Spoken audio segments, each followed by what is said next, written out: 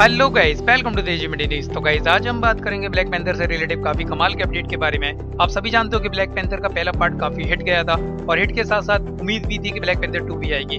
फिर भी मार्वल की तरफ़ से कोई कंफर्मेशन या अनाउंसमेंट नहीं थी कि ब्लैक पैंथर 2 आएगी या नहीं आएगी। मार्वल फेस फोर में फ़ैन थ्योरी तो लगाने के बाद ये कंफर्म हुआ था कि ब्लैक पैंथर टू आएगी। बट फिर भी कोई कंफर्मेशन नहीं थी।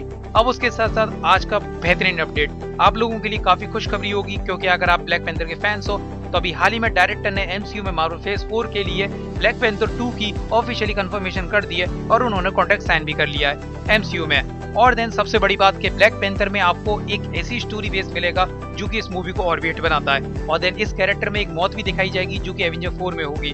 तो ब्लैक पेंथर यानी कि तचाला को उस चीज़ का काफ़ी बड़ा दुख होगा। पहले तो उसके फादर गए थे मॉम उसकी बची गई थी। अब देखते हैं क्या होता है, क्योंकि ब्लैक पेंथर सबसे ज़्यादा जिसके करीबी है, वो उसके बाबा थे और उसकी माँ थी। और देन आपको पता होगा कि इससे रिलेटिव हमें काफ़ी क्लू भी मिल चुके हैं। तो फाइनली एमसीयू में ब्लैक पेंथर 2 कंफर्म हो चुकी है मार्वल फ़ेज़ फोर में। तो गाइस आज के लिए बस इतना ही। अगर आपको ये वीडियो पसंद आए तो प्लीज़ लाइक कमेंट शेयर करो। जो बंदे इस वीडियो को नहीं देख रहे हो, या तो उस पर किल हाथ मारो, या पैर मारो सब्सक्राइब करो। बाय जा रहा हूँ।